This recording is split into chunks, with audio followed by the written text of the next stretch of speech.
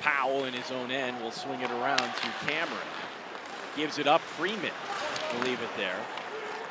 Cameron gets it back, pushes it ahead to Powell.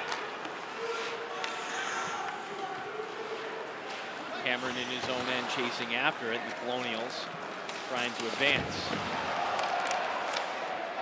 For all the success Robert Morris has had this year on Friday nights, it hasn't been kind. They've only won once. Here's the break in front and the tap and a goal. That's a good start on a Friday night. As Robert Morris leads here, one to nothing, as Dorowitz comes up with a goal. Got out of position there defensively. We talked about the blue line, and to get a little bit of a breakdown, goes right underneath the, the stick. You can see it goes under the stick of Greg Amlong. That kind of starts it, and then Robert Morris able to finish it. Amlong couldn't get into the punch of the quick shot, and Rotolo comes up with a big save. So the Tigers a little sloppy in their own end, but Rotolo bailing them out. There's the instigator, Denham. he is an instigator. Look at this. I mean, you get Mike with a good pad save, but boom, rotating well. I like the effort there as well. By Greg Amlong sliding over too, down.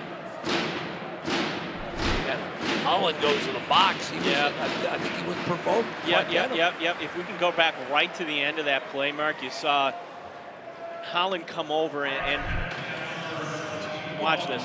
But Denham just kind of just, yep. Yep. And, Denham through Amlong kind of pushed him to the ground. And then Holland retaliates.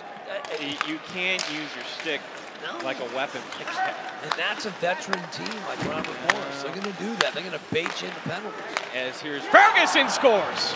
Point blank. Holland's mistake leads to a power play nine seconds into it.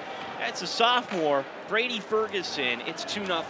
And the assist, even though I don't, uh, should go to Brandon Denham. he should get the assist on this. He baited Holland into the penalty. Robert Morris will have time for one last rush with a man advantage. Cope catching the break. Cope fires. Big pad save by Rotolo. Rebound and Amlong coming over to swipe that one away. Still dangerous here for the Tigers as will be held in. Wilson up top. Sending it. Picked off by Skirving.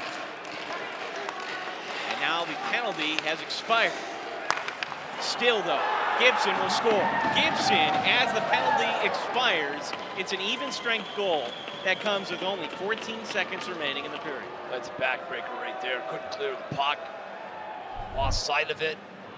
Keeps the puck in. I tell you, they, just a great pass, cross-ice pass, kind of crossed up the Tigers.